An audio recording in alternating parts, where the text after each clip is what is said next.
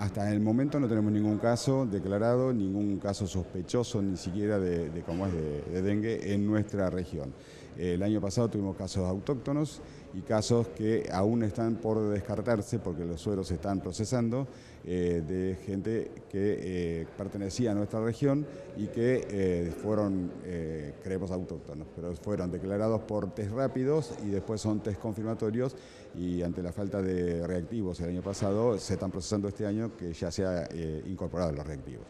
El mosquito Aedes aegypti vive en el fondo de los terrenos, eh, vive en el bebedero de agua de los animales, eh, vive en una tapita, vive en una botella que queda abierta y está en el, patio. Hay que permanentemente eh, sacarle, digamos, el agua, porque si tiene una semana de agua suficiente para que el mosquito ponga los huevos y tenga